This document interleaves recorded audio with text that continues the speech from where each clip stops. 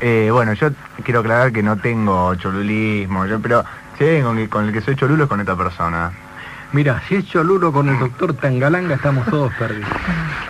Yo de Cholulo que soy, venía escuchando la radio, esta radio, y estaba este muchacho Rosichner Sí. con una chica sexóloga. Sí. Y toda la conversación era el pene y el clítoris y la gran puta, todo era eso.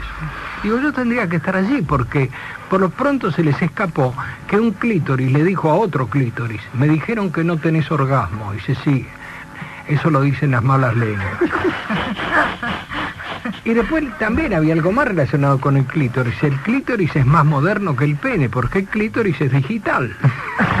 Así que esto hablaron de clítoris y de pene, pero no dijeron una mierda, porque es la parte importante de la Faltaba, faltaba la opinión calificada en este y está caso. siempre dentro del tema del sexo. Por ejemplo, un tipo le decía a un amigo, cuando tu mujer hace el amor, grita y dice, mira, hay veces que estoy en el café y le escucho.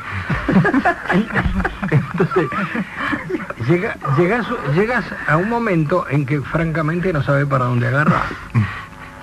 Y esto que hablaron tanto de sexo, me hubiera gustado realmente estar allí, porque mirá que fueron, vos viste el, el tema, ¿no? Sí, Y por, sí, ahí, por, ahí yo, por ahí nosotros decimos puta y es muy violenta la palabra, y esto sabe todo lo que dijeron, ¿no?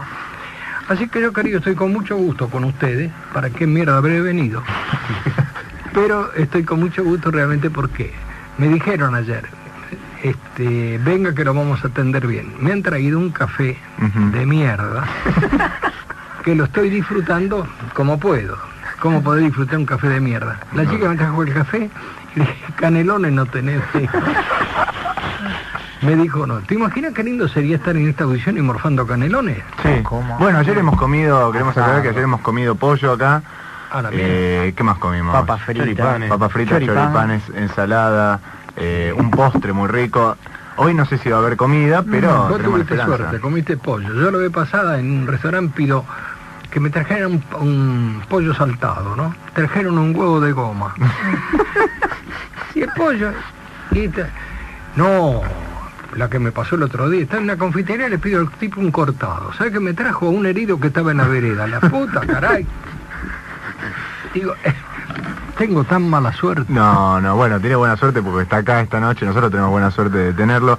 ¿Son horarios extraños estos para el doctor? ¿Son? Horarios extraños, no sé, las 11 de la noche. no, no, no, muy extraño no, porque eh, yo iba muy seguido, claro, era una amueblada.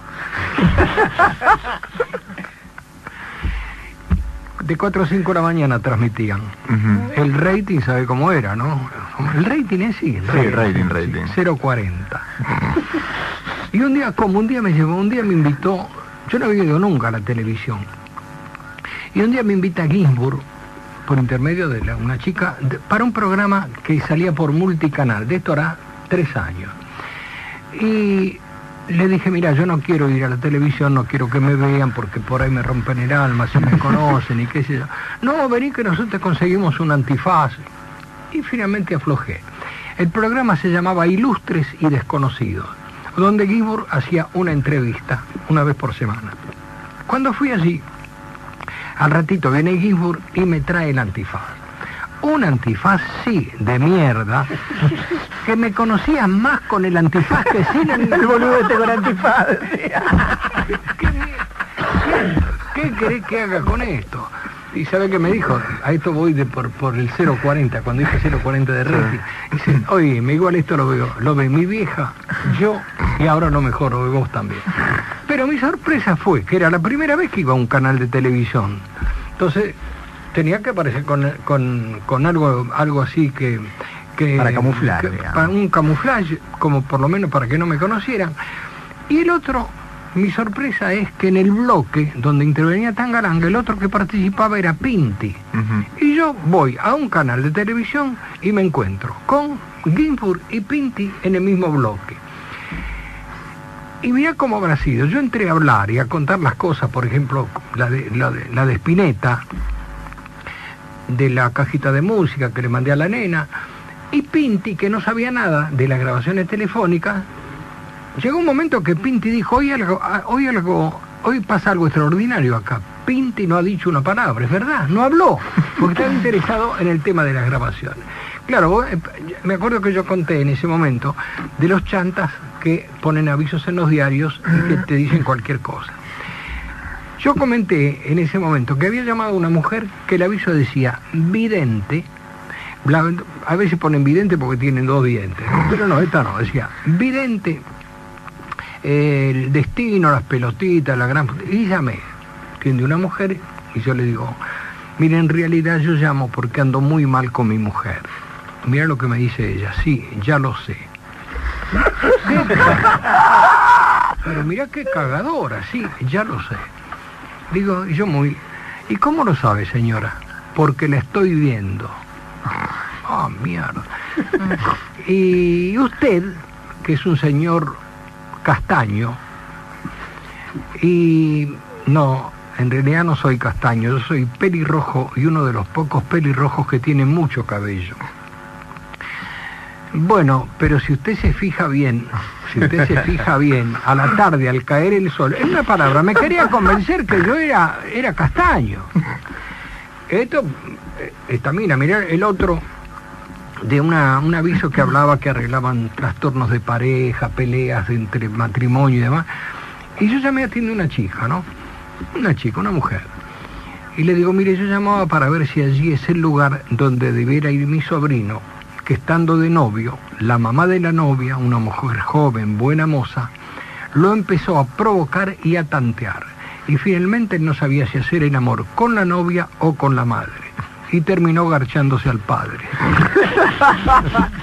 Tal cual. La chica dice, ¿usted me está cargando, señor? ¿Cómo te estoy cargando? Te digo que este se encamó con el suegro, con el futuro suegro y dejó a un lado a la hija y a la madre. Y él quiere ir allí ahora, quiere ir allí. Pero acá en el diario tengo nada más que el, el número de teléfono. Y bueno, poder puede venir. ¿Qué día puede ir? Dice, de lunes a sábados, de 8 a 22. Mirá el horario que atiende esta gente, de 8 a 22. Le digo, bueno, muy bien, cuando mi sobrino vaya, ¿va solo o lo lleva al suegro? no, no, no, que, ven, que venga solo. De manera que te encontrás con cada, con cada fato en, en- y uno muy serio de un aviso que vi. Espera un cachito que tome un, po- un poquito de Sí, café. sí, por favor. Estimados oyentes, si hay alguno escuchando que me aguante un cachito. Está sorbiendo, ahora hay que dejarlo porque, bueno. No, tam- tampoco abusar. Em, no, ¿y para qué mierda paré ahora mismo? ¿Ya ahora se olvidó? Sí, así le dije a Ginsburg ese día, que era la primera vez que yo iba a, una ra- a, un, a un canal, y yo estaba hablando, y entonces Ginsburg me, interrum- me interrumpe y dice alguna cosita, y yo iba a seguir y me olvidé de cómo estaba. Le digo, ¿para qué mierda me interrumpí? yo parecía que estaba en mi casa. Pero, claro, lo que pasó, la vez pasada yo lo fui a ver a Mateico. Fue la única vez, hablé con él varias veces por teléfono, alguna vez est- estuve en la radio también, pero hablé con Mateico, fui a verlo al, al estudio y me dice Mateico, dice, el que es fanático tuyo es el Puma Rodríguez. No, sí, sí.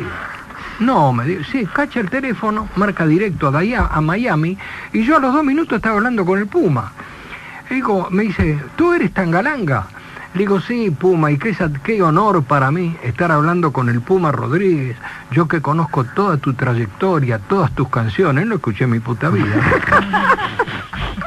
me dice, pues mira, yo quiero conocerte también. Cuando tú vengas a Miami, eres mi huésped de honor. Tú y tu familia. Digo, qué lindo aparecerse con un micro y 40 personas adentro y le morfamos todo a este, ¿no? Y este, y me dice, pues cuando vengas, ¿cuándo vienes a Miami? Le digo, no, yo por ahora no voy a poder ir, me quedo un poco de, de contramano. Pero este, de todo, dice, bueno, yo estaré allí, era el mes de abril, yo estaré en Buenos Aires en octubre. Cuando yo vaya, prométeme que vas a cenar más de una noche conmigo. Le digo, mientras tú pagues, Todo bien. vino y fuimos a morfar a Mora X. Me llamó el Puma, el eh, Mateico y me dijo, mira, llama a este número que te va a atender el Puma directamente. A las 3 de la tarde llamo y atiende el Puma. Una voz de apolillo tenía, digo, ¿para qué mierda lo habré llamado? Y pero él muy bien, muy amable, ¿no? Dice, pues vienes a cenar hoy con nosotros. Y digo, sí, encantado. Bueno, pues habla con Mateico y con él arreglas, bla, bla, bla. Y fuimos a morfar a un restaurante ahí en la Recoleta, de lo de afuera. Y cuando estábamos, entramos allí, éramos 10, 12 personas y el, y el Puma dice, pues yo me siento con Tangalanga. Digo, no, sentate en otra silla, van a creer que somos maricones. Pero tiene una calidez el Puma extraordinaria. Ah, buen tipo. Sí, un voz y una monada de tipo. Sí, acá mucho no lo pasamos, pero va a haber que empezar a No, pensarlo. claro, pues no, no es para ustedes. El Puma Rodríguez para ustedes es un gato. ¿Qué mierda vas a pasar el Puma? Y doctor, está en actividad ahora, sigue llamando todos los días, cada tanto, ¿cómo, Eh, cómo va la, la actividad telefónica? Mira, hacía como un mes que no llamaba y esta tarde hice cuatro o cinco llamadas. En un lugar tenía, y la ayuda mía era fulano de tal putazo. de modo que yo todo lo que sabía, eh, entonces, ¿qué le invento a este tipo, no? Y era bastante marcadita la, la manera de hablar, ¿no? Digo, bueno, este si no es maricón le faltan 10 minutos, porque hay otra más linda para, para maricón. Este si no es maricón es de Aragán. y la otra también. Este si no, es, si no es maricón tiene el tenedor en el bolsillo. No, este si no se la come tiene el tenedor en el bolsillo. Y, y hablé con este tipo después de estar casi un mes sin hacer grabaciones. Y claro, me siguió el tren. Me siguió el tren. Yo le decía puto y me decía más que vos. Entonces, cuando te siguen el tren, vos no tenés un- una reacción del otro lado, entonces se convierte en un monólogo, ¿no? Así que hago, hago, porque tengo, este, la gente que vende los cassettes de Tangalanga me pide novedades, ¿no? Es muy, una novedad, yo te puedo inventar una novedad, hago un llamado telefónico y tengo una novedad, pero me acuerdo que una vez yo estaba en, en un, en un 0600 y me llama, ya había dejado grabado un montón de chistes, grabaciones, y un día me llaman que necesitaban más chistes. Y estos se creen que los chistes se fabrican. No, yo le había dado todo lo que tenía, ¿no? Y dije, ¿cómo puedo hacer? Y en mi casa tenía un libro que decía eh, Cuentos verdes para ponerse colorado, editado en 1972. Cacho allí a ver si puedo arreglar un cuento, y mira un cuento del año 72. Un muchacho le decía a un amigo en la oficina, dice, che, qué tarro que tenés, siempre una mina nueva, ¿cómo hace? Cambia de mina todos los días. Y si mirá, vos sabés que yo voy a Castelar con el tren, paso siete y media, ocho de la noche por las estaciones, y voy viendo a la gente, hay mujeres, están ansiosas esperando que llegue el marido, el marido no llega, entonces yo me largo en alguna de estas estaciones y ya tengo el campo preparado como para levantar un programa. Y el amigo le dijo, mirá, me voy a tirar un lance, mañana lo voy a hacer yo. Este muchacho, el amigo, al día siguiente se toma el tren a Castelar, va pasando, paraba en todas las estaciones, miraba la gente ahí ansiosa. Entonces, este distraído se bajó en Merlo, se pasó. Se baja en Merlo una mujer que estaba fumando y dice, señora, la veo un poco nerviosa, no quisiera tomar un café conmigo, pero cómo no, venga a mi casa, yo vivo a una cuadra de aquí, acompáñeme, yo mismo le voy a hacer el café porque mi marido es un papelonero, siempre llega tarde, me deja colgada. Y van a la casa, la mujer hace el café y pasó lo inevitable. Se trincaron y cuando estaban trincados aparece el marido. Pero degenerada, yo que te saqué de la mugre, que debí de morfar a vos y a toda tu familia, ¿cómo me haces esto a mí? Yo te tendría que matar, degenerada. Y lo miró el tipo y le dije, a vos, desgraciado, te dije castelar, no me Oye, un del año 72. Eh, yo- y este que te voy a contar ahora, que la gen- muy poca gente lo sabe, por lo menos cuando yo lo cuento ve- veo que la gente no lo conoce, yo lo escuché en el Teatro Maipo cuando ninguno de ustedes había nacido, ni yo había nacido. Este es un tipo que va a ver un médico al hospital, especialista de nariz, garganta y oído. Entonces lo va a ver, doctor, lo vengo a ver porque tengo las amígdalas acá que dice, sí, sí, desnúdese y póngase en la fila. El tipo dice, no, perdón, doctor, desde acá, de ajá, de las amígdalas. Sí, sí, desnúdese y póngase en la fila. El tipo se desnuda, se pone en la fila y adelante de él un tipo desnudo con un papel en la mano. Entonces te dice el que estaba adelante con el papel en la mano, dice, escúcheme, este tipo es loco, será un fenómeno, una eminencia, un extraordinario cirujano, pero es loco, me vengo a hacer ver de las amígdalas, me hace desnudar y me hace poner en la fila. Y el tipo dice, ¿y usted de qué se queja? Y yo, que vine a traer un telegrama. Hay una duda que siempre tuve yo, porque yo había leído por ahí en alguna parte que todas sus llamadas eran, o por lo menos en un principio, justicieras. Es Sí. decir, que respondían a algún chanta, algún generalmente, caradura. generalmente, sí. Y las llamadas que no son justicieras traen culpa. ¿O, o son Mirá, no, yo me acuerdo siempre una, una grabación con el imitador. ¿Vos te acordás la grabación del imitador? El imitador. que yo le dije que imite- usted puede imitar a un gallego, a un, no puede hacer una voz extranjera, una voz nativa. Y el tipo arrancó enseguida, imitó un gallego, trascartó en italiano, después un cordobés. El cordobés era un porteño de acá de Japón, como el orto lo imitaba, ¿no? Y entonces, esa grabación, en realidad, terminamos para la mierda, ¿no? Porque yo le hablaba que nosotros teníamos un conjunto y lo queríamos llevar a él para que en los intervalos él hiciera imitaciones o contar alguna cosa. Y el tipo, claro, quería agarrar viaje. Y después cuando corté dije, puta, este tipo necesita laburo y yo lo, y yo lo estuve cargando. Pero si yo la escribo, la grabación no me sale igual, ¿eh? Usted sabe que llamó a, a un rockero, así más o menos, de, a- llamó a uno del otro yo, que ponía un aviso. El otro yo, ese conjunto. El conjunto, Sí. claro que es más o menos, Sí, pasa acá en el y esos chicos después hicieron un compact y me Claro, ubicaron le- a mí le para que, para, ¿no? sí, para que yo contara un cuento, eh, un chiste en el...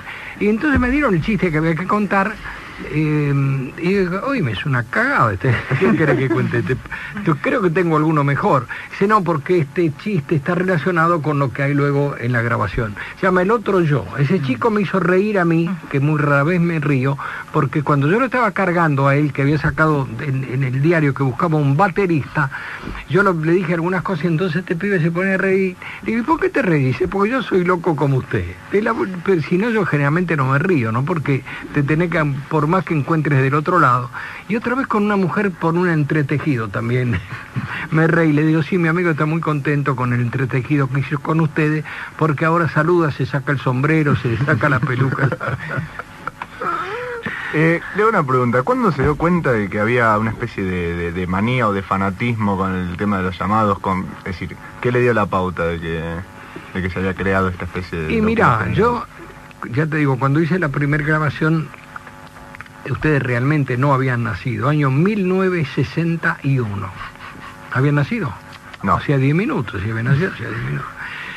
Y, y después, que la hacía parecía amigo mío que estaba enfermo, y cuando él murió, un año después, eh, me acuerdo que siempre, le- siempre un día le dijo a Tato Bores, una- un mes antes de morir, se le dijo a Tato Bores, dice, mira, yo gracias a él no me voy a morir tan triste, dijo, ¿no? Porque yo tenía 42 años, muy lúcido, hablaba muy bien, pero había quedado postrado, no se podía, de la cama no se podía mover, 24 horas por día en cama. Un tipo que era una luz, cuando estaba bien, acá ya se hubiera ido ocho veces ya de acá porque era muy inquieto, ¿no? Y, y yo paré cuando él murió y en el año 78, o sea, de 17 años después, yo me pesco una hepatitis de muerte y me tengo que morfar en mi casa 70 días en reposo. Entonces, claro, empezaron, ¿por qué no haces aquellas grabaciones? Ya habían pasado tantos años. Y entonces ahí empecé a hacer grabaciones nuevamente. Y en el 85 sale la doble casetera y ya se podían copiar. Era fácil copiar y entonces empezaron a caminar. Entonces yo diría que a partir de, del 85, 86 empezaron a caminar más. Y mirá, un tipo puso una vez un aviso en el diario que decía, creo que siempre tengo una copia aquí, el ingeniero Sagasti, de quien me hice muy amigo después, puso un aviso en el diario que en La Nación, ¿eh? decía así, mira, para, para obtener una buena grabación ruego al doctor Tangalanga llamarme a tal número. Y llamé por teléfono. Y entonces le digo, mire señor, me dicen publicidad Radiux. Digo, señorita, yo para tantear, a ver si era algún tipo que me buscaba para romperme el alma, ¿no? Entonces, mire señorita, yo llamaba por el aviso que ustedes pusieron en el diario, ta, ta, ta. Sí, le voy a dar con el ingeniero Sagasti. Me da con el ingeniero Sagasti. Le digo, mire señor, yo lo llamo eh, por, por este, porque le pediría que si el doctor Tangalanga, él decía que, lo, que llaman si el doctor Tangalanga lo llama, por favor, te tome nota y yo lo llamo a usted dentro de un par de días y usted me da el número, así lo llamo yo también. Dice, bueno, pero si usted no es Tangalanga, es Tangalenga, me dice el tipo. Digo, bueno, sí, finalmente está bien, Tangalanga. Nunca me, me di a conocer con, con él en ese momento, ¿no? Bueno, terminó invitándome a morfar a la casa y yo le dije, bueno, yo después le voy a contestar, siempre tomando recaudos, pero ya de esto hace ocho años, o sea, en el 88. No, qué mierda de cuenta estoy haciendo. Tengo una 89. computadora. ¿eh? Eh, bueno, siete, ocho años, ya había gente que quería conectarse con Tangalanga. Y lo conocí a este, a este hombre y él formó el, el Tangalanga Fans Club. Un día cae Piotti al, al Tangalanga. Piotti. Entra Piotti, era un lugar donde estábamos nosotros, un restaurante donde nos habían hecho un lugar para nosotros, ¿no? Y Sagasti me dijo, ¿sabés quién va a venir? Piotti. Digo, no, era en la época Piotti famoso juez, Sí, sí, ¿no? sí. Entonces, este, habíamos empezado a morfar, diez minutos después entra Piotti y dice, señores, buenas noches, señores, buenas noches, quiero, quiero dejar aclarado que si no me siento al lado del doctor Tangalanga, me voy. No me conocía. Entonces, vení Piotti, sentate acá, sentate acá. Y entonces había dos chicos que habían venido temprano, que querían se, habían sentado al lado de Tangalanga, ¿no? Ahora no sé si estos pibes te van a dejar sentar, porque estos vinieron temprano, están desde las 6 de la mañana. Bueno, se sentó Piotti. Y hablando así me dice Piotti en un momento, dice, porque vos decís orto de una manera especial. Y la palabra orto es muy importante. Por ejemplo, yo veo a un tipo, me dice Piotti, y le digo, ¿cómo te va? Como el culo, le va mal. Me dice, me va como el orto, le va muy mal. O sea que la palabra es muy importante. Bueno, tenemos. Eh, me aguanto un cachito, tenemos Sí. un montón de llamados para el doctor Tangalanga. No, me Ah, dice. pero no, pero ahora no, digo, al Es mi mujer que 999-3300. ahora vamos a seguir hablando con el doctor Tangalanga, vamos a hablar de la mujer y un montón de cosas más. O me di cuenta que Toma al aire, ojo. muy... No, sé si- no, por, por la duda que haya alguna parte que no quiera. Está buena, está buena la anécdota, pero por si hay alguna parte que incrimina a alguien. No, claro. No, yo nunca quise incriminar a nada. Bueno, antes eh, que sigamos dedicados, por supuesto, el patrón, brujería, antes Slave New World de Sepultura. No sé si la quiere contar ahora al aire o esa, esa corresponde al fuera de aire. Lo de Gasalla. Sí. No, es, de lo más inocente. La, una, la única parte cuando él me puteó, pero en realidad me- No, no, un señorito, no, muy bien. Me lo encontré, yo fui a la casa porque le pregunté dónde vive, señor. Yo, si usted no vive en el orto del mundo, lo voy a ir a ver. Y entonces me dijo, "Sí, mire, yo vivo en Pacheco de Melo. Ah, me lo imaginaba. Y fui cuatro y media de la tarde, dos días después, yo soy muy puntual. Que lo único que me queda la puntualidad. Y eh, lo fui a ver, me atendió una mujer muy, muy bien puesta y entro al loft que tiene Gasalla, ya te digo, parece el Luna Park. Y eh, empezamos a hablar y me invita para ir al programa. Yo le dije, mire señor, yo, no, yo te puedo tutear. Me dijo, sí, cómo no, pero él no me tuteó nunca. Entonces, eh, yo quisiera este, invitarlo a mi programa porque estoy haciendo un programa, una audición nueva que se llama La Torre de Babel, que fue una audición que hacía Gasalla, que tenía un programa los martes y agregó este los viernes, pero no pasó nada. Pasaron tres o cuatro programas, no pasó nada. Y entonces me dice, yo este lo invitaría, le digo, es que yo no me quiero mostrar en televisión, es que podemos poner una silueta, un, un panel, usted se ve como una silueta y entonces, yo sí, pero hay mucha gente con usted porque usted los graba, los programas, hay mucha gente mirando, yo en realidad no quisiera mostrarme. Digo, bueno, piénselo a ver si lo puede hacer.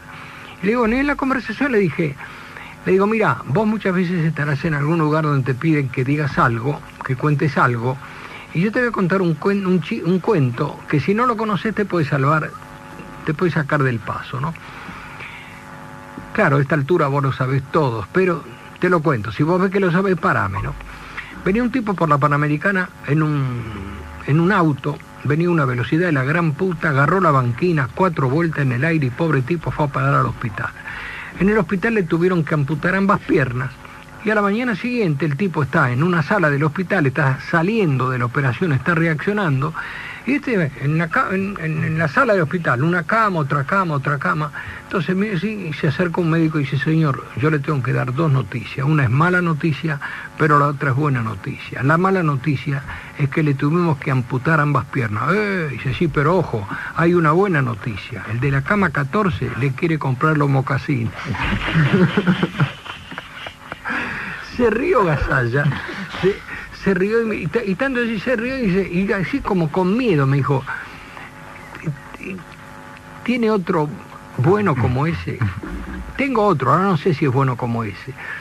En el manicomio no alcanzaba la guita para darle de comer a todos, entonces reúnen a todos los locos en un patio para hablar con ellos y ver si encuentran alguno que está mejor y decirle, bueno, mirá, vos estás bien, andate, así queda un poco más de comida para los demás. Entonces, reúnen a los locos en el patio del manicomio y el director le dice a uno de ellos, 6 por 6, ¿cuánto es? El tipo dice, mil. Bueno, este todavía no está bien. Al de al lado, 6 por 6, martes, dijo el otro, y tampoco. A otro, 6 por 6, 36. ¿Y vos cómo sabés? Y mil dividido martes, dijo. y Gasalla se rió.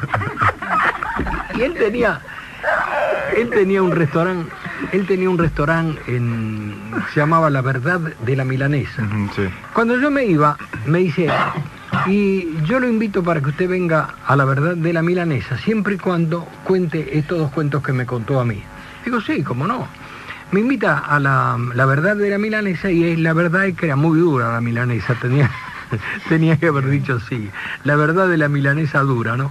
Y fue con un amigo. Y Gasalla hizo una breve actuación y por ahí dice, y ahora les voy a presentar a un amigo que me contó un par de cuentos que me gustaron mucho. Quisiera que ustedes lo escuchen. Ya me estaba el, el- para que la gente lo, lo aceptara. Si Gasalla dice, me gustó a mí. Y conté estos dos cuentos como había quedado con él. Y como la gente se rió mucho, dije, eh, Gasalla, ¿puedo agregar uno más? Pero sí, cómo no. Digo, en el manicomio, tam- es del manicomio también. Estaban dos locos hablando diciendo, che, pero los días no se terminan nunca, 24 horas son como 24 años, tenemos que estar acá parados, metidos acá adentro, los días, ya te digo, son interminables. ¿Sabe qué vamos a hacer? Vamos a jugar a algo, a ver qué podríamos... Ya está, juguemos al comerciante. Yo soy el comerciante, el que tengo el negocio y vos me venís a comprar. Entonces aparece como que el tipo entra al negocio a comprar algo y dice, señor, ¿qué deseaba? 16 mil kilos de alpiste. Pero, somos locos, pero no tanto, dale de nuevo, pero pedí una cosa, mira, 16 mil kilos. Señor, ¿qué deseaba? 27 mil kilos de nueces. Pero, déjate de joder, ¿cómo me venís a pedir una cosa así? La última, no va más. Señor, ¿qué deseaba? Dos kilos de papa. Trajo los envases. Imagínate, si los otros... Y cuando cuento cuento de loco, hay dos cuentos de psiquiatra. Un psiquiatra le estaba atendiendo a un tipo y el tipo dice, lo que pasa, doctor, que yo soy homosexual. ¿Algún antecedente en la familia? Y sí, un hermano mío es homosexual. Y mi viejo también es homosexual. También tengo un tío que es homosexual, pero escúcheme, ¿en su familia a nadie le gustan las mujeres? Sí, cómo no, a mi hermana. Te dije que sabía dos. Y el otro es de un tipo que está con el psiquiatra. El psiquiatra le dice, ¿usted qué problema tiene? Y el problema mío, doctor, es que yo tengo relaciones sexuales con un simio. No me diga, macho o hembra, hembra. ¿Qué se cree? Que soy degenerado. A mí lo que me llama la atención es que no solo conoce un montón de gente, sino que morfa gratis todos los días. Es decir, todo el mundo le invita a morfar. Podría morfar gratis, sí.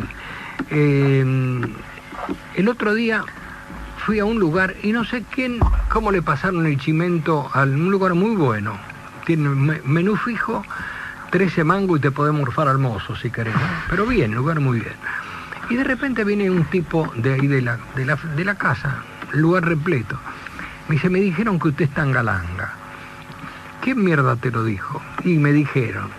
No sé, no se tendría la amabilidad, ¿por qué no cuenta algo? Tenemos acá el, el micrófono a su disposición. Y yo fui. Vergüenza no tengo, entonces fui. Y conté unos cuantos cuentos, que es muy jodido en un restaurante, porque la gente habla mucho y morfa. Y si vos estás morfando, no, no le da bola al tipo que está hablando, ¿no? Pero me fue bien. Entonces me trae un vale el tipo. Este, no decía vale, pero como diciendo, cuatro cubiertos para venir cualquier día de lunes a sábado o de martes a sábado. Cuatro. Yo tengo una gana de poner un uno adelante, ir un día 14 y le morfarle a toda esta gente. Pero en realidad, como vos decís, sí, me invitan a morfar. Y como yo, como yo soy morfón con el, en el buen sentido de la palabra, Y en el otro sentido también, algo debe haber con eso de- del homosexual. Pero cuando yo en mi casa morfo muy poco, mi mujer el otro día me dijo, mira, te preparé una cena extraordinaria. Vení a casa, no llegues tarde porque tengo una cena para esta noche. Llego a mi casa, había hecho dos salchichas de Viena. Ah, pero ojo, sacó la mostaza de la heladera, la puso arriba de la mesa, todo, ¿no? Bacana. ¿Su mujer está contenta con, con esto, con lo de las llamadas Y y está de vuelta, está de vuelta, pobre.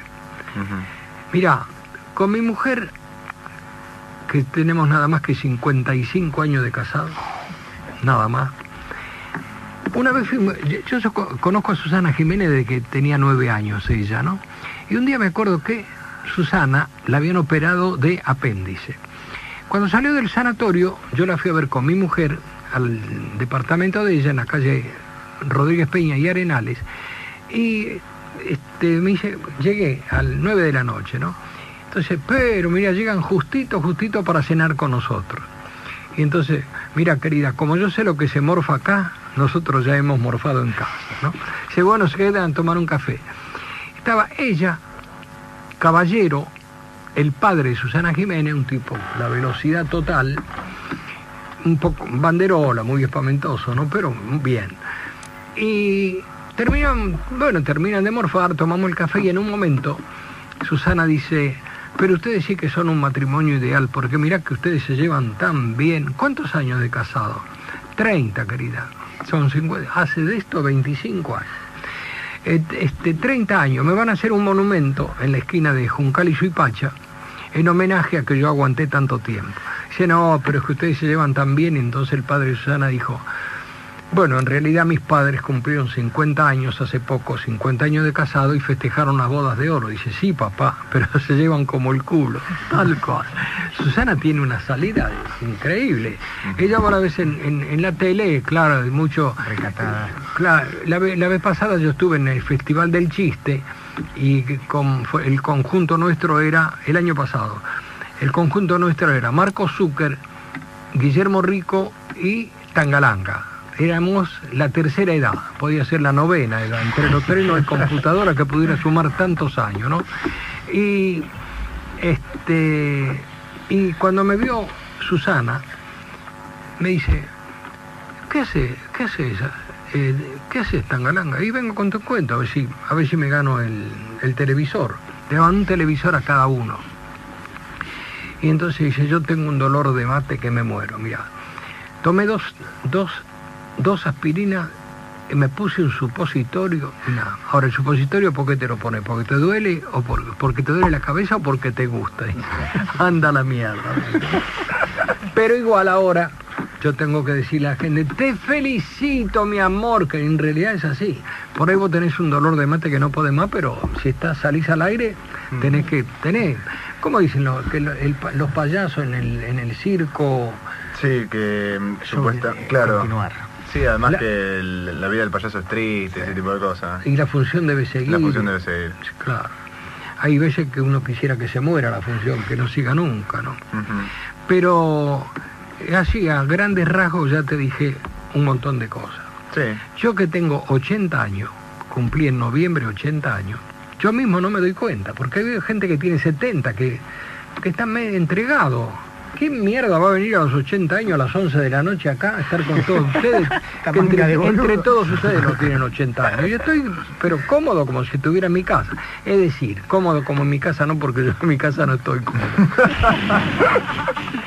De manera que eh, me siento más joven. Claro, la suerte de tener buena salud. Yo me hago un este, an- análisis dos veces por año y yo creo que me los hago para ponerme contento cuando me dan el resultado. ¿Por qué? Te dan el resultado. Cuando uno tiene 200 de colesterol es para salir a la calle y a la zurra. Yo Ujú. tengo 191. Cuando uno tiene 14,8 de presión, como tengo yo, me permite hacer lo que hice el otro día. Entré a médicos y le digo a la chica, querida, ¿me tomas la presión, por favor?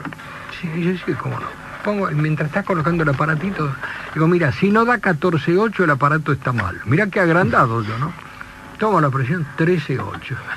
Cuando ¿Quién le habrá dicho también a- si el aparato no marca 14.8, tiralo, ¿no? Y esa suerte de tener buena salud es lo que me permite hacer el tipo de vida que hago, o sea, anotarme en todas. Yo me anoto en todas. Si vos me decís ahora y de acá, vamos a ir a, a Chascomús, que vamos a inaugurar la laguna o algo así. y vamos, Bueno, ¿y cuál es el tipo de vida que hace durante el día, Tangalanga? versos. ¿Qué hago? No, y mira, durante el día, durante el día, generalmente, yo, el rebusque mío, en realidad, lo que me da de comer a mí no es tangalanga. Ujú. Yo que trabajé nada más que 34 años en la firma Palmolive, nada más. ¿Te imaginas cómo será tan, cómo, cómo era Tangalanga laburando para que los norteamericanos me aguanten 34 años? Porque no me piantaron, me fui yo. Ujú. Tenía 56 años y fue a laburar a Odol, porque el presidente de Odol me dijo si quería ir a laburar con ellos. Palmolive se mudaba de Constitución a Lavallol y había que ir a laburar a Lavallol. Yo tenía que cruzar el país todos los días.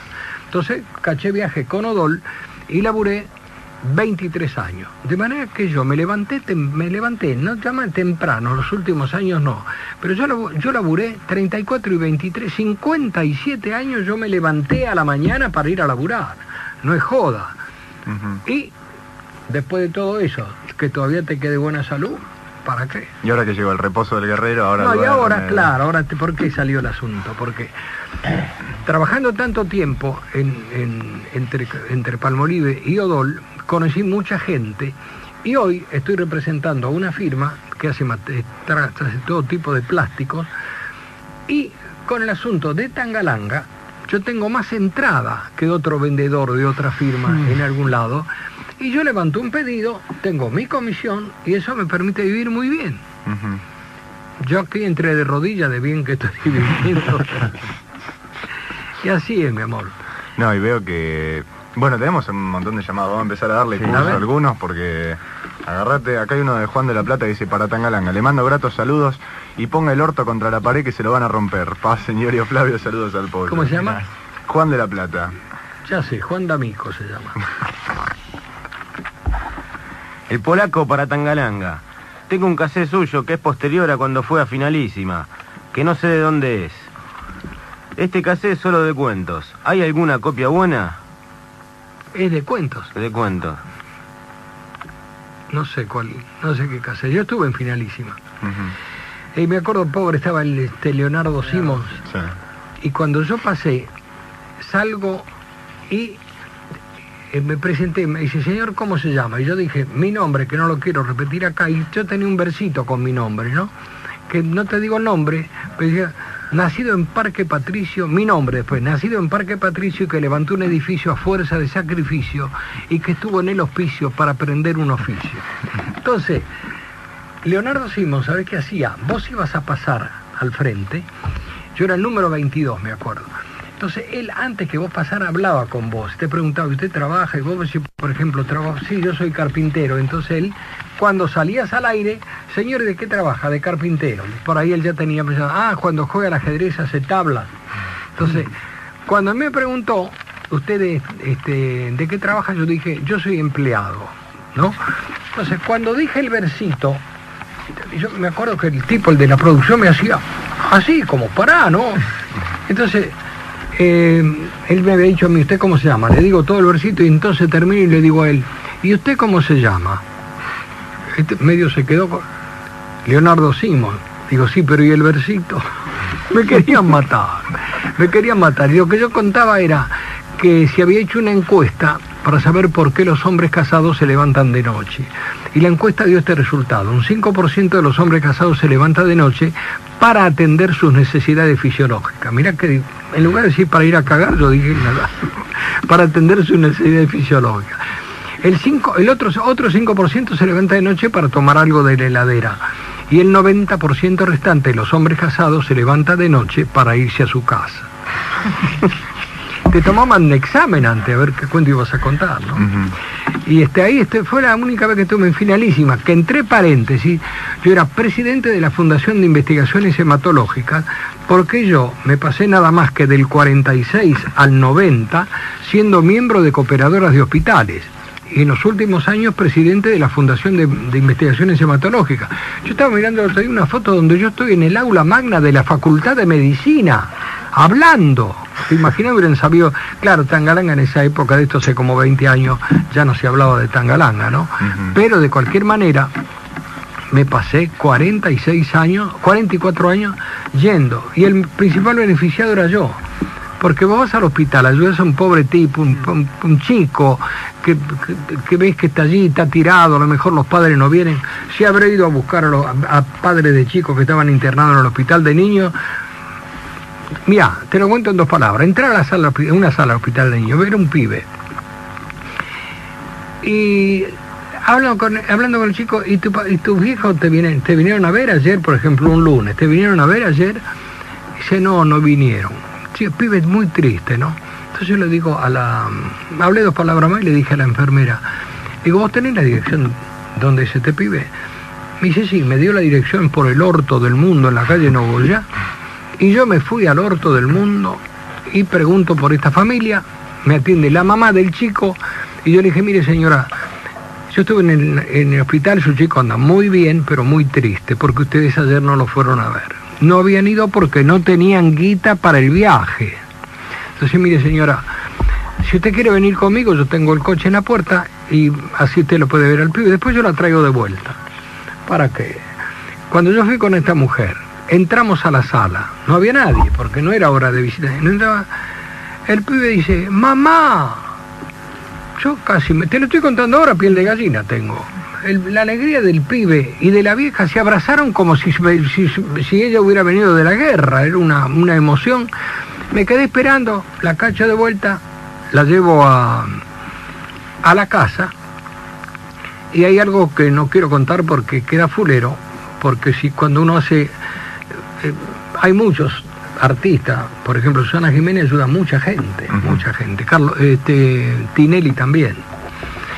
Y eso lo hice varias veces, las varias veces pueden ser más de 10, y el, el que sale ganando, ¿sabe? Sos vos, porque has hecho algo que te llena el alma, que te llena, te da una satisfacción enorme. De manera que está- mi vida está muy mechada, vos viste, ¿eh? Veo. Pero Está el, el demonio, la bestia que habla por teléfono. presidente de la Fundación de Investigaciones Hematológicas, qué mierda. Tenemos. Sigue este mensaje Ah, para que del polaco. Dice, ¿dónde se junta el trapizón de Fan Club? Dentro de poco te lo vamos a decir. Todavía no se puede. Y para usted que sabe tanto, dígame por qué la moneda de un peso no tiene rayitas en el borde. No tiene rayitas en el... Mira vos, mira la pregunta que me hace este degenerado. Este es un degenerado, ¿cómo se llama? El polaco. polaco. Polaco, sacate la cédula de identidad, mirá lo que me preguntan. Y cuéntese una historia del Maipo, dice. nada. ¿Cuánto? Una historia del Maipo. Y la conté hoy. No, no. Claro, la historia del Maipo fue un día que subí al escenario. Salió Norma Ponce y dijo, ¿no habrá en la sala algún, algún caballero que se anime a subir a contar un cuento, un chiste? No me terminó de decir chiste y yo hice así. y si no hago así no subo, porque cuando ella decía eso, subía un tipo que estaba ya, de- que era de la Preparado. compañía, porque vos no vas a encontrar todos los días un tipo que suba. Subí un tipo de la compañía, entonces cuando yo hice así, y ella me dice, "¿Y ¿usted sabe contar un buen cuento, un buen chiste? Y yo creo que sí, ¿no? Me dice, y en ese momento dijo, no, no, uno solo. Lo paró al tipo que, subía toda la noche al Maipo. Bueno, imagínate, el Maipo. Yo subí al Maipo y me hubiera quedado a vivir allí. Me acuerdo siempre que conté eh, que en el Maipo tenía gente ahí a medio metro, le puede dar, el que está en la primera fila le puede dar la mano también, ¿no? Le digo, un amigo le decía a otro, cuando vos, cuando vos terminás de hacer el amor, hablas con tu mujer, dice, mira, si tengo un teléfono a mano. Entonces unos aplausitos, dice, señor, era uno solo, me dijo ella, si sabe otro cortito y bueno como ese. Bueno, yo diría del tipo que está con el médico, le dice, doctor, ¿me puedo bañar con diarrea? Y el médico le dijo, si le alcanza. Y como era una compañía de revista y se podía decir cualquier cosa, yo digo, un amigo le decía a otro, ¿a vos te gusta la mujer con muchas tetas? Dice, mira, si tiene más de dos me mareo. Bueno, terminé contando seis, seis cuentos, ¿no? Y ya te digo, me acuerdo que en un costado del escenario estaba Javier Portales, Juan Carlos Dual, que es el marido de Diana Maggi, ¿sí? Y, este, y Adriana Aguirre. y de esto hará ya 17 años. Y yo la vi el otro día, Adriana Aguirre, que va mucho a una... a- anda, se me, en la audición de Mauro Viale, ¿no? Y es realmente todo un mérito, todavía impresiona muy bien. Y no tiene 14 años, Tiene unos cuantos más. 15 de edad. Eh, bueno, tenemos, ahora dentro de un ratito vamos a seguir con los mensajes del 999-3300. ¿Se queda un rato con nosotros, Tangalanga? Y 12 y cuarto, y claro, hasta las 4 por lo menos. Ah, está bien, listo. No, cu- cuatro minutos sí. A la casa, es un domingo que me invitó a morfar. Y también este tiene tantas cosas de Tangalanga que yo, yo mismo me asombro, yo no tengo las cantidades de cosas que tienen Que tiene tipos. Y el orden con que tienen los cassettes. Ah, y en un rincón dice el rincón de Olmedo. Y en otro lado el rincón de Tangalanga. Epa. Mirá que de gente piantada, ¿eh? Mirá vos juntar las cosas. Bueno, los temas que sonaban recién eran, primero, Hay Dolores de Siniestro Total. Antes, Mujeres, vengan a mí de Violadores. Bueno, tenemos más mensajes. Vamos a seguir ¿Cómo con no los puede ser de otra manera? que llegaron al 999-3300, como el de Claudio eh, Suárez, que dice que Tangalanga le mande un saludo a Flanders, cabeza de muñeco. Tangalanga, sos un viejo chotón y no te hagas para atrás porque te denuncio. Es un campeón. Te quiere al final. Pedro, ¿cómo se llama, che? Claudio. Claudio, qué mensaje de mierda que me mandaba. Pinocho de Floresta para Tangalanga. Soy miembro del Trapisonda Fan Club. Le mando un fuerte abrazo, un saludo para todo el staff de Evitando la Blande. Gracias, querido. Bueno, acá hay un fax, eh, dice Tangalanga 99, año 2000, milenio Tangalanga, Juegos Olímpicos Tangalanga 2004, Tangalanga el Mesías. Doctor, cuente esa llamada en la que un pibe que iba a tomar la comunión tenía que repartir bombones con el culo. Los cassettes están a la venta en forma comercial. ¿Hay algún teléfono donde contactarme para conseguirlo? ¿Hay que, rega- hay que regarlos? Por favor, doctor, putéreme. Firma esto Riff Raff y dice, ¿es cierto que los médicos le recomendaron al bambino que a la gorda la haga jugar en tres cuartos de cancha para que esté lo más lejos posible de la raya? Bueno, esto es esa parte. no tiene nada que ver con Tangalanga. Claro, esa parte. Bueno, hay un montón de preguntas. Una Eh, vez fui a una concentración de Boca, que se concentraban en, en un hotel de la calle Libertad entre Arenales y Santa Fe. Me llevó cuando jugaba un que era half derecho, muy leñador. Pernilla. ¿eh? No, no, te- te- te- hará cinco años de esto. Eh, Eh, ¿Cómo se El pelirrojo este, ¿cómo se llama? eh, Rabina. Rabina. Rabina. Sí. Él, me llevó él. Yo lo había conocido en el Club Gimnasia Esgrima un día que había ido allí y me llevó Rabina a la concentración de Boca Juniors. Y estaban todos, todos. Menos este, el presidente de Boca estaban todos, el psicólogo, el entrenador, Aymar era el entrenador. Y estaba desde ya La Torre, Pico. Yo me acuerdo que yo tenía un grabador, poní, puse unas grabaciones, después conté unos cuentos. Y Pico cuando se reía despegaba con la cabeza en el... en mesa.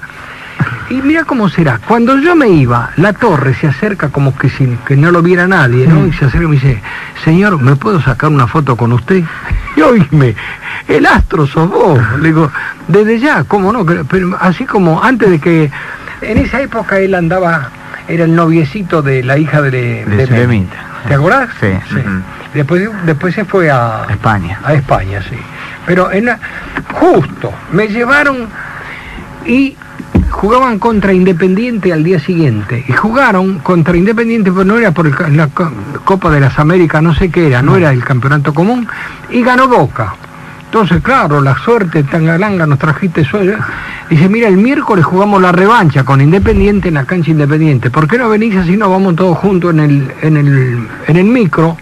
Dice, porque vos no diste suerte. Y digo, mira, en realidad para mí era una puñalada, no era, no era programa. No es que yo no soy de Boca Juniors, soy estudiante de La Plata. Pero este ya se habían agarrado, hay mucho de, de cábala en el fútbol. Piotti me quería llevar a la concentración de River, muy amigo en aquella época, muy amigo de Pasarela. Y también yo no... Y con Maradona, mirá lo que pasó con Maradona. Yo un día estaba en una pizzería en Belgrano, 12, casi las 12 de la noche, con Sergio Marco, ¿cómo se llamaba el, el- el que tenía antes de Coppola? Marco Franchi. eh, Fran- Franchi, sí. Franchi. Estábamos con Franchi, un señor italiano, entre, un apellido bien italiano, que entrenaba a Maradona particularmente, y el dueño de la pizzería. Y entonces estamos, llama, suena el teléfono, el Movicon de Franchi, y habla con, con, Tangala- con Tangalanga, habla con Maradona. Y habla y dice, mira, ¿sabes con quién estoy? Con Tangalanga. Entonces Maradona le dijo eh, que le pasara el teléfono. Pa- pasa, me pasa el teléfono a mí y yo ni lo dejé hablar a Maradona. Le dije así, ¿qué mierda estás haciendo en Ezeiza con este frío? Dice, pero Tangalanga, ¿por qué no venís? Porque dice, ¿por qué no venís? Le digo, y mirá, en realidad y tuve un día, él, vení, vení que yo te hago entrar, como diciendo, vení que te entra". Pero yo estaba en Palermo, hacía un frío de la gran puta, y eran las 12, casi las 12 de la noche, ¿cómo voy a Ezeiza? Y después vuelvo. Dice, bueno, entonces prometeme que cuando yo vuelva, cuando el equipo argentino vuelva de, de Estados Unidos, todavía estaba la bronca en ese momento de que no podían ir a Japón porque Maradona no lo Sí, el tema ¿no? no podía pasar. Prometeme cuando yo venga, este, vos este, vas a venir un día a mi casa en, en Morona, Edo, no sé por dónde. tiene. Devoto. De- no, no, perdón, habrá una casa quinta que él tiene. Ujú. Eh, de Moreno, claro. Y yo tenía que haber, cuando él volvió, yo tenía que haber llamado a Franchi para hacer la conexión, ir a la casa de Maradona, pero no quise llamar porque había pasado todo este fato, que lo habían sacado de, de adelante, que te acordás que lo descalificaron, y, y entonces no llamé más. Y un día que fuimos a ver, yo fui a ver al Puma Rodríguez, al, al Luna Park, yo fui con mi nieta y estábamos en la primera fila. ¿Para qué mierda me habrán dado primera fila? Porque de la primera fila hasta el escenario había dos metros y cuando el Puma empezó a cantar toda la gente venía y bailaba ahí adelante. Y, ta- y- y había ido Maradona, estaba en la fila 3.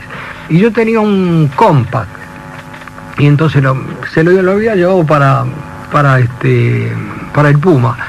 Entonces lo miré a Maradona y le digo, ¿querés escuchar, a- querés, querés escuchar ahí dentro el matifono?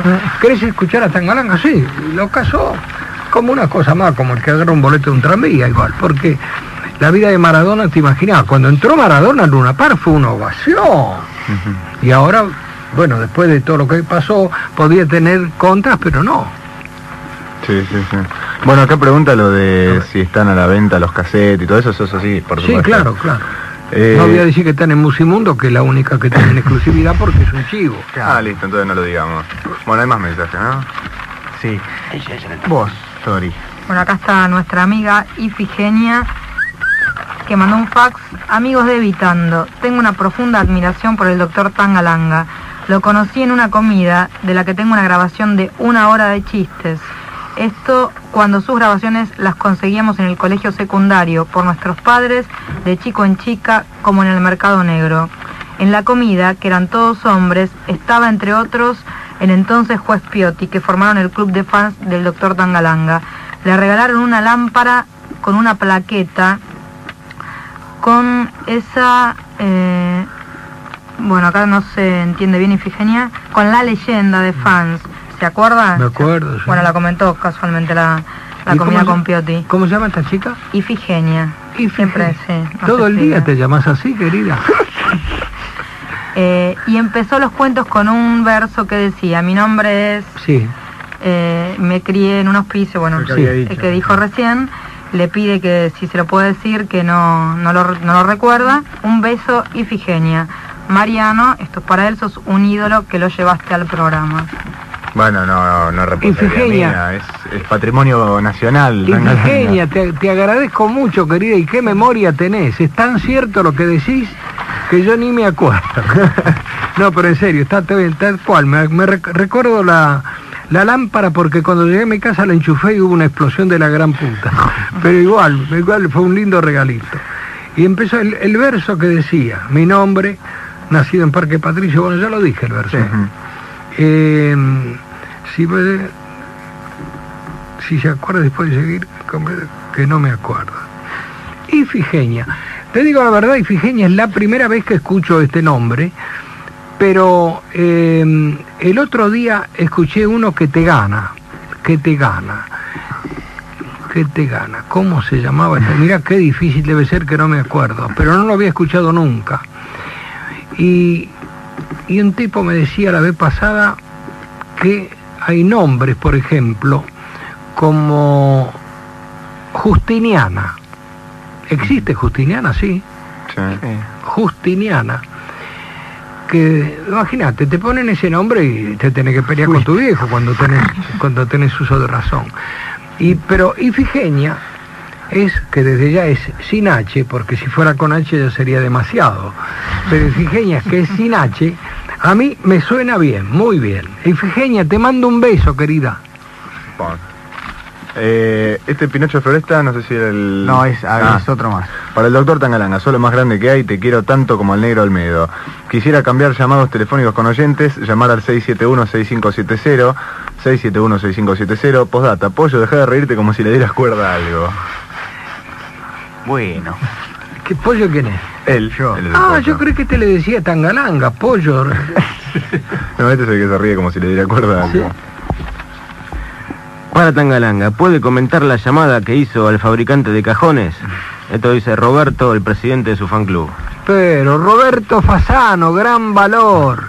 Yo ni te nombraba porque no creí que hoy estabas escuchando, pero yo te dije, creo que te dije que iba a venir a esta audición. Y vos no sabés lo que es esto, no sabés.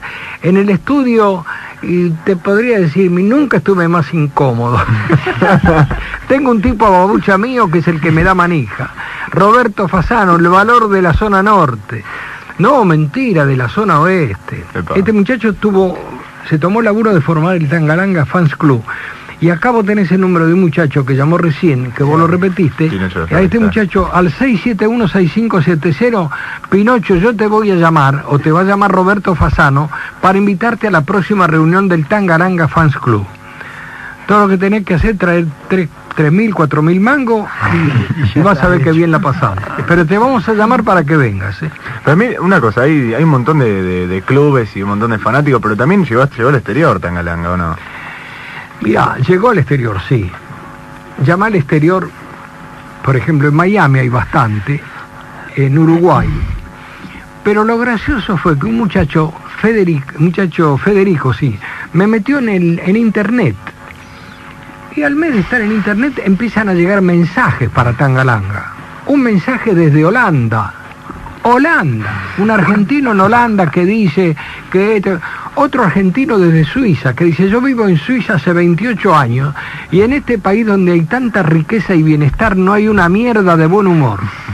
Otro tipo de Houston, Texas, dice y por estas calles de Dios a veces voy manejando con un cassette de el, en el en el estéreo y la gente me mira y piensa que yo estoy drogado, estoy ebrio o drogado. No, ebrio o drogado. Cuando te recibís algo de Estados Unidos, si no hablan de la pichicata, no vale.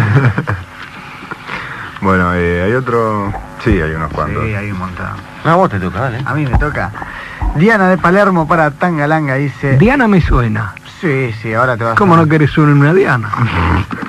Me molestó que en, uno de- en una de sus grabaciones telefónicas jodiera a un homosexual. Quisiera saber si también lo haría con un negro o un judío.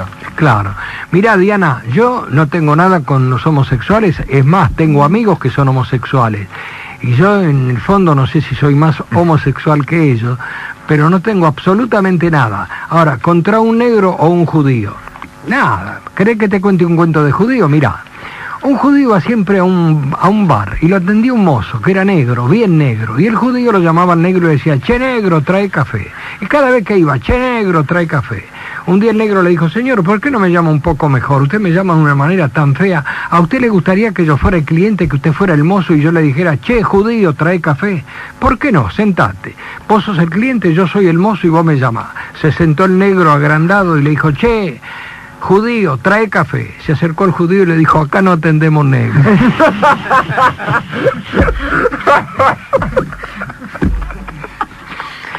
Walter de Lanús, para Tangalanga. Escuché todos sus cassettes. Quiero saber el teléfono del fan club de Tangalanga. Si no lo puede dar al aire, eh, avisa que dejó No, el teléfono en producción. Se lo- no, se lo puedo dar al aire y este Roberto, prepárate porque vas a recibir muchos llamados. Le voy a dar, voy a la- dar el número al aire del, Uh. del Tangalanga. Fans Club. Inmediato va, va a quedar tapada la línea. Seis, este, espera, espera un cacho. Fasano. 658 7181. Los que quieran ir algún día cuando se reúne el Tangalanga Fans Club, que será una vez cada mes y medio, cada vez, dos meses, lo llaman a Roberto, que es un cacho de pan, algún día se lo van a morfar a este, y vienen al Tangalanga Fan Club, que la pasamos muy bien. Todo lo que pasa allí es comentamos, hablamos de los cassettes, yo tengo este, yo tengo el otro, por qué llamaste a este tipo, por qué llamaste al otro, y pasa bien, pasamos a lo mejor una hora y media, dos horas bien.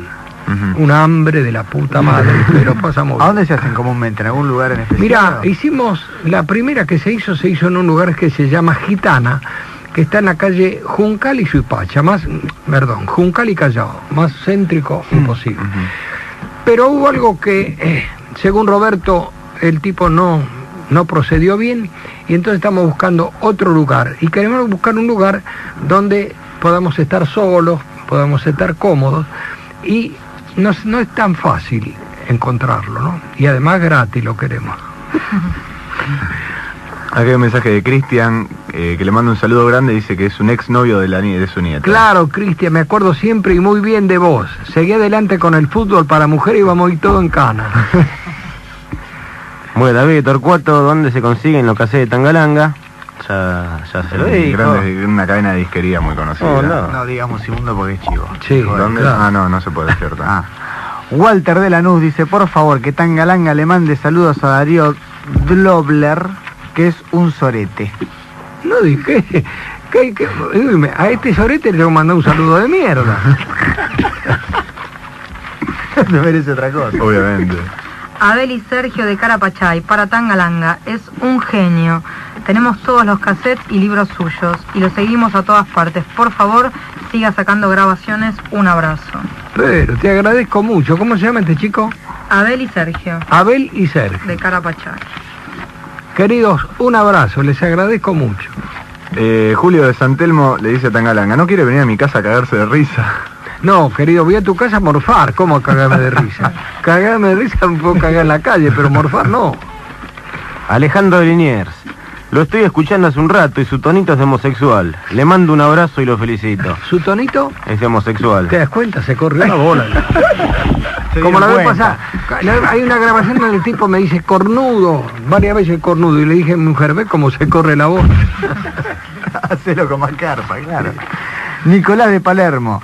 Que el maestro Tangalanga le mande saludos a Leandro Aníbal y al fan club del pollo.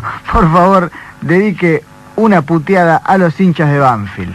Mirá, simpatizo mucho con Banfield y sé que Dualde los ayuda mucho, será por eso que van último. Pero, pero, en, pero en realidad, en realidad van último de mala suerte. Es- Ustedes van último porque hay otro que están arriba de ustedes, pero si no estarían bien colocados. El Botija. ¿Por qué no hacen un garage con el maestro Tangalanga? Ah, es un genio. no Manden aguante para el barrio San José. Un saludo para todos. Capo, le contamos que nosotros, eh, la radio todos los sábados, en el garage, acá abajo, toca una banda distinta. Este sábado, por ejemplo, va a estar Masacre. Entonces la idea del... Traerlo a usted un sábado. usted, Que haga una... Un espectáculo. Acá no, Se no abre, mm, los chicos traen, ahí está pañales o libros de Ahí cuentos sí, que te lo va a buscar ahí sí. Para el hospital Garrahan. Ahí sí, ahí sí. Si le podemos dar una mano al hospital Garrahan, yo vengo desde la mañana ahí al garaje. Epa, bueno. Bueno, Sí, No es lo vamos a ¿eh? arreglar, ¿eh? Lo voy a arreglar, No lo vamos a arreglar, ¿eh? Bueno. todos los sábados se hace eso, vienen más o menos 200 Sí, personas 200 entran al garage. Con mucho gusto. ¿Y eh, Masacre quién es? Hoy me te señaló a vos con Masacre. ¿vos- ¿Sí? ¿Con- ¿Así se llama el conjunto? Es mi, con mi conjunto de rock, sí. Toma. Lindo nombre, porque Masacre te llena de, de optimismo. De... Es, ¿Dónde estuviste? En una masacre. Queda bien. Muchos muertos, muchos muertos, 22, 14 heridos, pero el conjunto se llamaba Masacre. Los cuatro miembros somos seguidores de usted, maestro, desde, desde siempre. Toma. Y el baterista de Estudiante de La Plata. Uh, entonces, desde ya. Y este, si algún día hay que presentar el conjunto Masacre, me gustaría hacer la presentación. Bueno, ¿Eh? No es mala, ¿eh? Bueno, Alejo no. de Olivos. ¿Te acordás de los chicos de mala suerte que pasaron en uno de sus discos una llamada suya con el curandero Garqueta, el que curaba el mal de San Vito? Posdata, mándenle un aguante a No Somos Nada. Eso era el, otro yo, era. porque el, cuento que yo te conté para el otro yo, creo estaba relacionado con el mal de San Vito. Entonces este muchacho es el mismo del, de, de la orquestita esta, del conjunto, el otro yo. Ahora existe el otro yo. Sí, sí, sí. Sí. varios discos, sí. Bien, che. Sí, bastante bien. Marina de Martínez para Tangalanga dice, mi hermano Esteban tiene todos los CDs suyos y llama siempre al 0600. Mirá, qué cliente que tengo. Gracias a vos, Morfo, querida. Que lo siga haciendo, ¿eh? Sí. Claro, que siga Claro. invirtiendo. Bueno, muchachos, yo lamento mucho, me quedaría, qué sé yo, no te digo toda la vida, pero tres minutos más me quedaría. y, y me voy porque mañana yo viajo a San Luis y tengo que estar en, eh, en el aeroparque. No digo, tengo que estar en el aeroparque a las 10, pero para ir a las 10, aeroparque, sale el avión a las 10, vos tenés que levantar a las 4 de la mañana. Siempre tenés que ir una hora antes, después viene la demora. Sí, Así sí, que sí. Yo les agradezco mucho la invitación, quedo a las órdenes de ustedes por el asunto de masacre y que podamos juntar muchos pañales descartables para el hospital. Sería Señores, les agradezco mucho. Bueno, Buenas noches. la por favor. lo comprometemos algún día a volver, obviamente las puertas están abiertas, este estudio prácticamente le pertenece, Te- debería llamarse estudio doctor, de doctor Tangalanga. Y vamos a recibirlo con un café de mierda como este. Sí, con ¿eh? otro. Eh, No era tan... No, ahora como entró, ahora como entró la que trajo el café, ahora arruga. No, iba a decir. No, quería decir una cosita. Llamó el dueño de la casona del conde de Palermo, acá le deja su teléfono, que gustosamente estaría encantado que el fan club se reúna ahí. Mira qué Para bueno. que, para que vea. Qué bueno. Bueno, supongo que nos va a invitar a lo del programa ahora que consiga un Alejandro, lugar. Lo menos que tiene que hacer. Alejandro, te estamos llamando a partir del lunes para ver si organizamos la reunión del Tangalanga Fans Club en el Conde de Palermo, lugar que conozco y que admiré mucho porque en una época se morfaba muy bien. Y ahora no te digo que se morfe bien porque hace mucho que no voy a morfar allí, pero de cualquier manera siempre tengo un grato recuerdo. Te llamamos pronto. Doctor, un honor y un placer, ¿eh? En serio. Un aplauso, che. Gracias. Puede ser que yo esté aquí desde, desde las, desde las 11 y sean la una menos cuarto, no puede Sí, ser. puede ser, puede ser. ¿Cómo va a explotar?